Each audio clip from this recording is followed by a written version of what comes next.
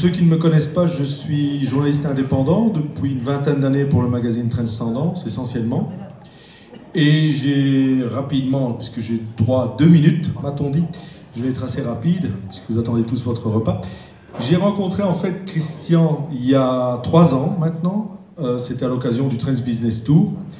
Et quand il est venu chez moi, il m'a expliqué le principe du Max 25, il m'a expliqué un peu de temps quoi ça consistait. Et je dois avouer qu'au départ, j'étais quand même relativement dubitatif. Enfin, les journalistes sont assez dubitatifs au départ.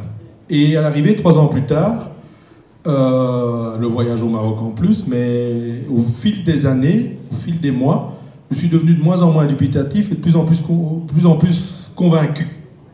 Convaincu par quoi? Convaincu par euh, ce que Christian a mis en place, qui est ce que je dirais, euh, c'est plus qu'un réseau en fait.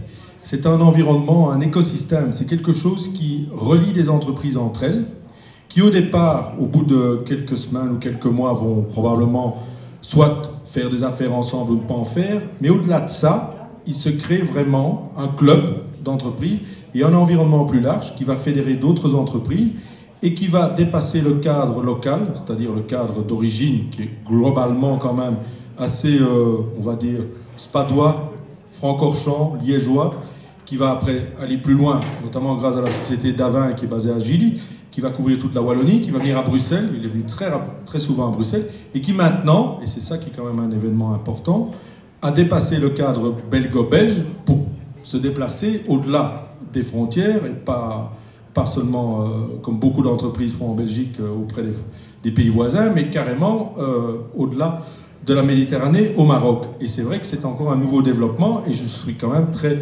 très intéressé de voir comment cela va se développer dans les années qui viennent et je fais grande confiance à Christian pour qu'on ait encore de grandes surprises dans les années qui viennent et qu'on se retrouve ici et qui sait, Dieu sait où plus tard. Voilà.